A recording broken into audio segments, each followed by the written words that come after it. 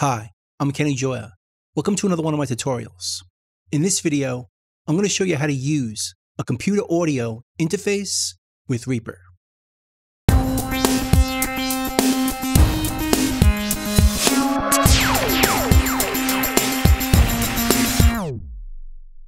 Now, the purpose of using an external computer audio interface is so that we can get more inputs and outputs into our computer, and therefore into Reaper.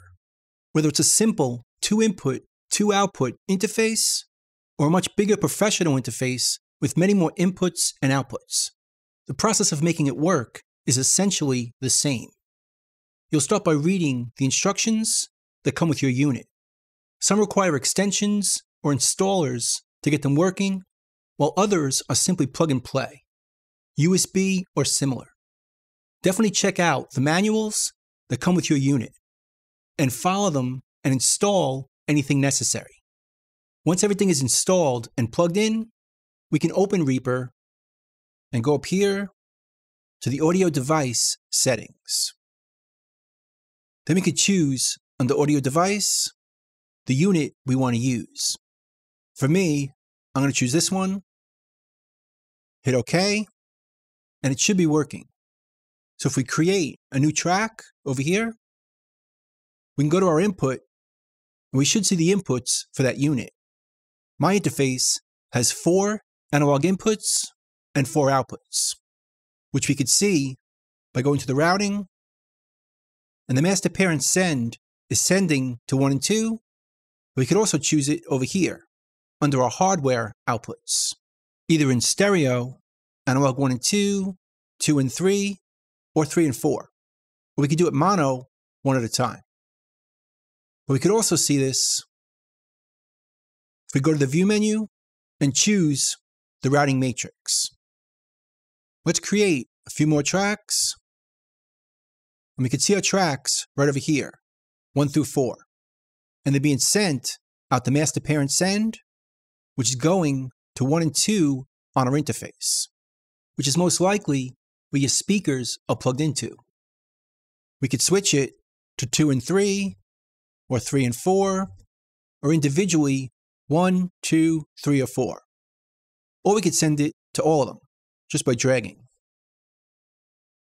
Now we could also send each track directly to a different output right from here.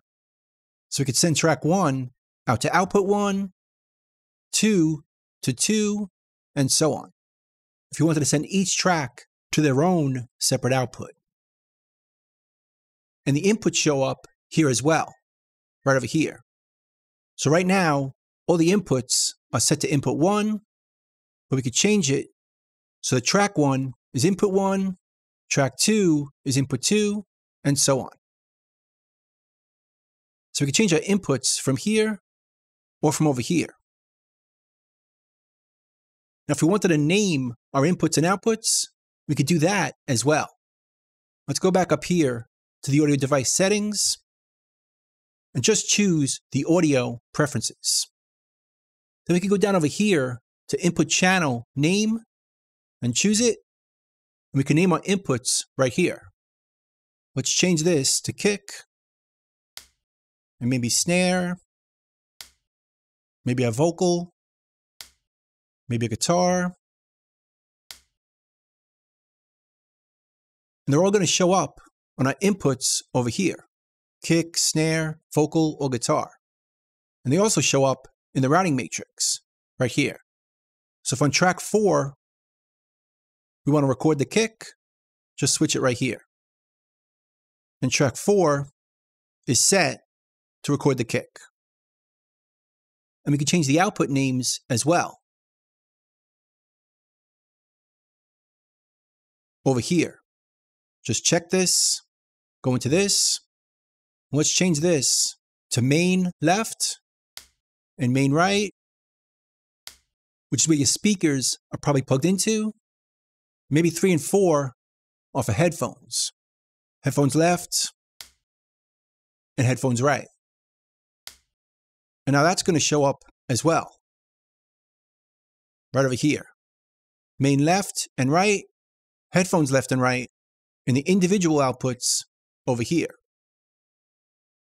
So anyway, that's how you set up and use a computer audio interface in Reaper. I hope you learned something, hope you can use it, and I'll see you next time. Thanks.